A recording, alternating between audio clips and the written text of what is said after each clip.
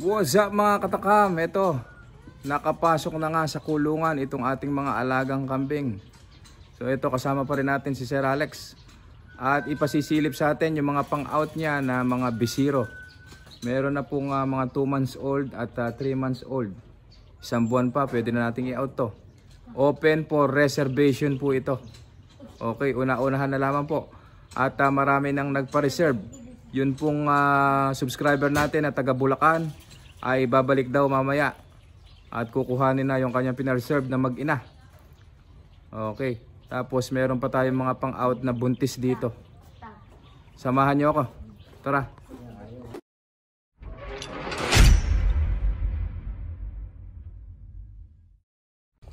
So ito tayo sa loob ng uh, kulungan ngayon.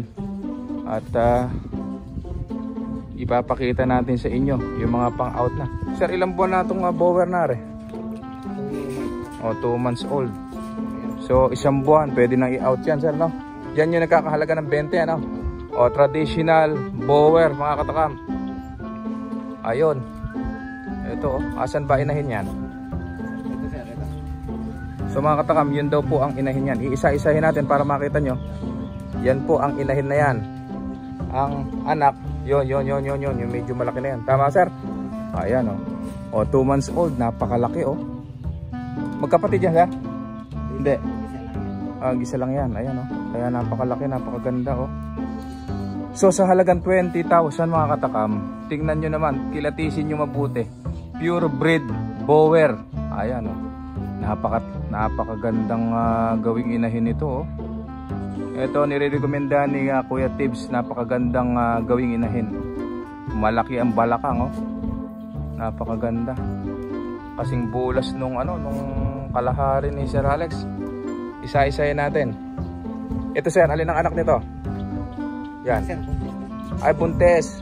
Yan yung ina-out natin sir, no? Mga katakam, ito yung uh, pang-out ni Sir Alex na buntes na traditional redhead. Magkano po natin pang-out yan, sir? Uh, 35,000 buntis na po. Ayan. Kung ayaw nyo ng bisiro at gusto nyo ng inahin na may karga na po, eto, Bower Traditional Redhead. Sa halagang 35,000 po, kayo na bahalang magpaanak. Mga ilang buwan na po itong buntis, sir? uh, 3 months. Uh, 3 months. 3 months na po yung tiyan niya. So, ibig sabihin, dalawang buwan na lamang po ang hihintayin nyo. Uh, mga anak na yan. So nag-aanak yan ng dalawa hanggang tatlo. O yun. So yan. O isa-isahin natin. Alin sir ang yung Anglo-Nubian na babae na yon. Magkano yun sir? 20 mil. Mga katakam, ito pa ang isang uh, magandang gawing inahin. Kung ayaw nyo ng uh, bower, ayun yung bower ha. At gusto nyo yung matataas na lahi yung matatangkad. O punta tayo sa Anglo-Nubian ayun po yung nasa sulok na yon. Ayan 20,000 po. Ang 4 months old na pang out yan. Nasa 2 months na rin po ba yan Sir Alex? O 2 months na yon. So maghihintay na lang tayo kahit isang buwan pa. Pwede na nating ipang out yan kasi kumakain na yan. Pero mas maganda kung mag-out tayo 4 months. Ito po yung nanay. So tingnan nyo napakalaki. Akala mo kabayo oh. o ayan oh napakaganda ng nanay niya. Oh. natanggal nga lang yung ear tag at sumabit dun sa cyclone wire. Yan po yung nanay ng ating silver na yon ayo yo yo yon yan. Tapos alin pa ba Sir Alex yung ating mga bisiro? Buti kabisado mo pa Sir Alex yung mga oh, mga anak-anak. Hindi masyado eh. Oh Sir. Sir ito.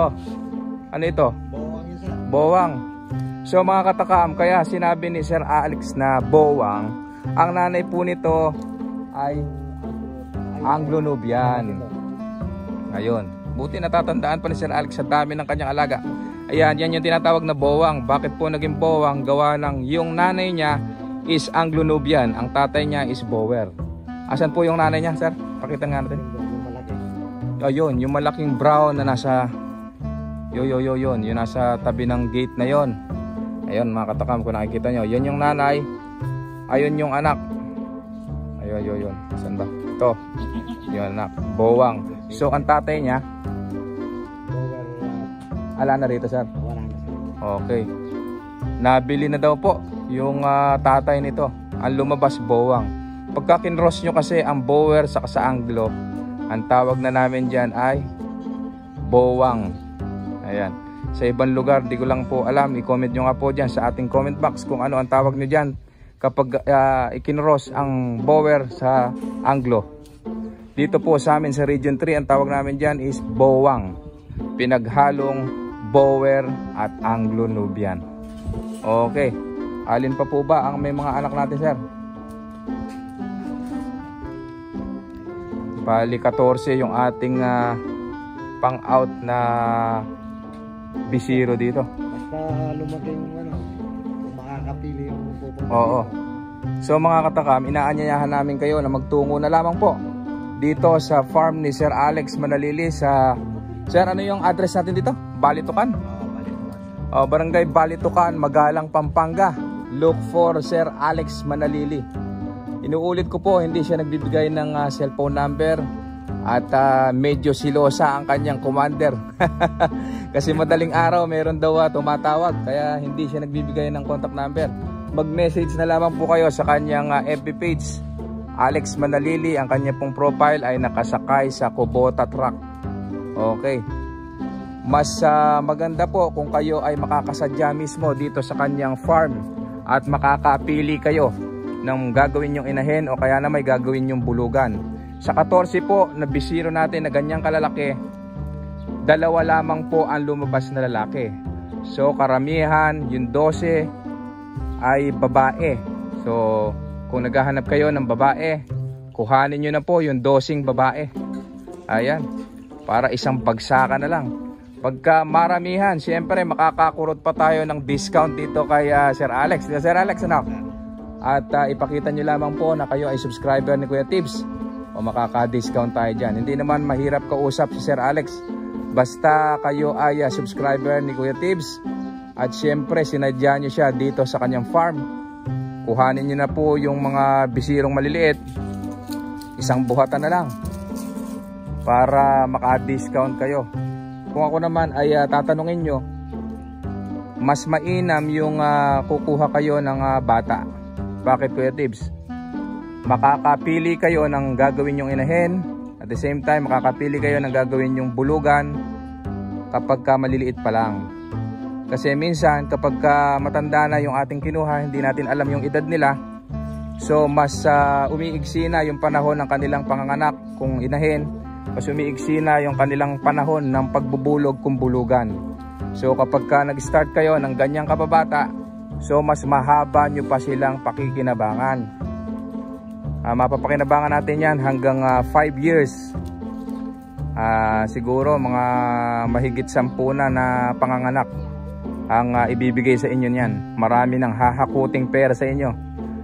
So ang ah, tip ko sa inyo sa pag-aalaga ng kambing, napakagandang ah, investment ito. Lalo na sa mga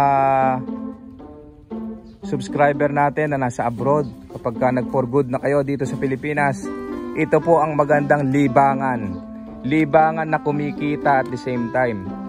Meron na kayong ah, libangan, stress reliever, at the same time kumikitang kabuhayan pa po. Itong kambing ay ah, hindi nawawala sa market, hindi bumababa ang ah, presyo, mas tumataas pa. Ang karne natin ng kambing ngayon sa kabanatuan ay nagre-range ng 450 kada kilo. Kaya in demand ang ating mga kambing.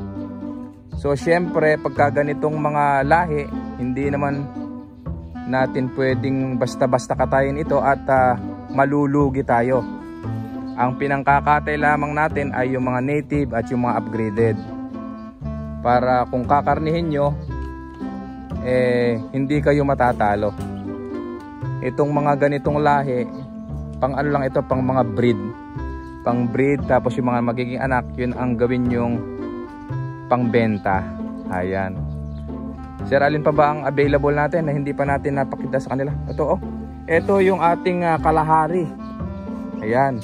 Ito napakaganda oh. Ginawa ni Sir ah, Alex na inahin. Kaya lang, ah, medyo napabayaan natin nasingitan ng Anglo-Nubian. So ito, mangangan, pag nanganak, eh magiging bowang na rin ang magiging anak dito kasi Anglo-Nubian na po yung kanyang ah, naging asawa. So bowang din ang magiging anak nito. So sa susunod, ah, babantayan na natin ito para mapalahi natin doon sa bower. Ayan. Ang bower sa kakalahari ay hindi po nagkakalayo. Parang iisa lang yan. So itama nyo ako kung ako po ay ah, mali. Hindi naman po tayo eksperto sa larangan ng pagkakambing. At ah, napupulot lang din po natin yung ating mga kaalaman sa mga veterano na nag-aalaga. Kagaya ni Sir Alex, matagal na nagkakambing. Nila Sir Loy, ayan. Kapag ka kayo ay may mga problema na na-encounter sa pagkakambing, maaari po kayong ah, tumawag o mag-message sa ating ah, FB page o kaya dito sa comment box natin sa YouTube channel. Kung kayo ay may problema, baka kaya nating ah, solusyonan yan. Yung mga gamot-gamot sa pagtatain na yan, gamot-gamot sa bloated, at tutulungan namin kayo. Ayan. Sir, asan yung F4 natin na mga pang-out na inahin? Ayun. So ayun mga katakam, yung F4 ni Sir Alex na pang-out. Buntes sir no? Ah, buntes. Magkano natin sir i-out yun? Buntis na yan sir. O mga katakam, saan pa kayo? Ito, buntis. O, 20,000 pataas. Depende sa pag-uusap nyo ni Sir Alex. O, 20, sasagad ni Sir hanggang 20. Pero sa iba yan, kapag ka hindi kayo subscriber, 25 pataas ang presyuhan yan. F4, tapos nanganganak pa ng tatlo. Saan ka pa? Aba, dito lamang yan sa farm ni Sir Alex Manalili. Itong si Sir Alex Manalili, maraming dumadayo dito sa kanyang farm kasi isa siya sa pinaka mabait na kausap pagdating sa bentahan ng, pag ng kambing. Kapag ka tumawad kayo at ah, kayang ibigay ni Sir Alex, madali lang yan. Wala nang kuskus balungos pa dyan. Wala nang isip-isip pa. Basta kayang ibigay ni Sir Alex, ibibigay sa inyo yan. Kagaya nung ah, F4 na sinasabi niya, 25,000 pataas ang presyo niyan. Nanganganak po yon ng ah, tatlo. Yung sinundan ng ah, buntis niya ngayon, yung sinundan na anak, tatlo po yung kanyang inanak. So pagka nakuha nyo yan ng 20,000 at nagkaanak, okay? Bawing-bawi na po kayo. Ayan. Tapos, yun po magkatabi na yan, sir. Parehas ano? Ayan, yan, yan, dalawa na yan. Nagkakahalaga ng 20,000 po yan. O yan, pumili na lamang po kayo. Pero kung ako ang tatanungin nyo, kukuhanin ko na yan, dalawa na yan. Ayan o. O yan. Isang itim. Oo, yung naglahi dito, yung namatay siya, no? Sayang, napilay yung ano, napilay yung uh, Anglo-Nubian na nakalahi dyan. Tingnan nyo naman kung gaano kalalaki ito. Oh. Napakagandang inahin. Oh. Kayo na po ah, bahalang magpaanak niyan. Sa halagang 20,000 hindi na kayo talo dyan mga katakam. Kasi ito nanganganak ng tatlo yan. Triplets line. Ayan. Yan po ay ah, F4 Anglo-Nubian. Kaya. Ah, magkapatid pala sila kaya pala magkamukha, magkaiba lang ng kulay. Ayan, kaya po tinawag na F4 galing po yan sa native. In-upgrade, kinross hanggang sa makarating sa F4. Ayan. Ang F4 po natin is halos 96% na. Kung di ako nagkakamali, i-correct me if I'm wrong sa mga veterano nagkakambing. Pero almost sa 100% na po rin sila na puro pure breed. Kaya lang may konting dugo pa sila ng native kaya sinabing ah, F4. Yun pong mga pure pure breed natin. Ayan. Ayan po ang mga itsura ng pure breed natin. Ayan. O, ayan. Mas mahaba na yung kanilang mga tenga kesa sa kanilang ah, nguso. Ayan, oh, mahaba yung tenga. Oh, tingnan nyo yung itsura ng F4 na galing sa native. Ayan po ang itsura. Ayan, makikita nyo po yung pagkakaiba. Ayan, halos pantay yung tenga ng F4 sa kanilang mga nguso. Hindi katulad ng uh, pure breed na Anglo-Nubian, mas mahaba ang tenga. Ayan. Mas matatangos ang ilong, yung balingusan. Tingnan niyo yung balingusan nila. O, ayan, oh. Tingnan niyo. Ayun, katatangos ng ilong. Oh, yan yung mga pure breed na Anglo-Nubian. Ayan. Yung iba na wala na ng uh, ear tag, gawa ng nasabit-sabit doon sa bakod. Ayan. Bakit ba tayo nag, uh, naglalagay ng uh, ear tag, mga katakam? Ito po ay palatandaan natin sa ating mga paanak. Okay? Kung kayo ay uh, nagbe-breed ng kambing, meron kayong personalized na pangalan, nilalagyan natin halimbawa ito, number 10. So lahat na magiging anak niya, ang ilalagay natin 11, 12, 13, 14, 15 para hindi po maliligaw yung kanilang mga anak hindi maiko-cross doon sa tatay kapag uh, ito halimbawa nilagyan natin ng number 20 ang ilalagay nating mga anak nito 21, 22, 23, 24, 25, 26 ganyan po. Yun po ang purpose ng paglalagay ng ear tag hindi po basta-basta nilalagay yan. Kailangan meron din tayong sistema na ginagamit. Kagaya ito kung number 30 ito yung ear tag nya na inahin ang ilalagay natin na ear tag ng kanyang mga anak is 31, 32, 33, 34, 35 hanggang 39 para po uh, malaman natin kung kanino siya anak. Ayan. Kasi sa sobrang dami ng ating mga kambing, kung hindi natin lalagyan ng ear tag, hindi po natin matatandaan lahat-lahat yan. Hindi tayo kasing galing ni Sir Alex na hanggang uh, hanggang sa kanunulunuan, alam niya yan kung sa, kanino anak, kanino apo, sino ang tatay. Ganun po yung mga matatagal na nag-aalaga. Pero sa mga marami ng uh, alaga, mas maganda po lagyan natin ng ear tag. Palatandaan natin yan. At syempre kaya nilalagyan ng ear tag baka mamaya mahalo sa ibang kambing. Alam nyo po kung alin yung kambing nyo. Ayan. Napakagaganda. So hanggang dito na lamang po mga katakam. O inuulit namin yung kanyang yung uh, address ni Sir Alex dito sa Magalang Pampanga Barangay Balitukan sir no Barangay Balitukan iba yung turo sir no ibang barangay yun, no? Katabi ng turo. Oo, katabi ng turo. Ang balitukan po ay uh, matatagpuan sa susunod na barangay sa Turo, Magalang. Okay. Balitukan, Magalang, Pampanga. O tapos yung kanyang FB page, uh, Alex Manalili, yun po kanyang profile picture ay uh, nakasakay sa Kubota truck para hindi nyo po makalimutan. O kaya naman po mag-message kayo sa aking YouTube channel o kaya naman sa aking FB page Kuya Tibbs TV. Okay. Sir, maraming salamat po sa time at magpapaalam na tayo sa ating mga subscriber.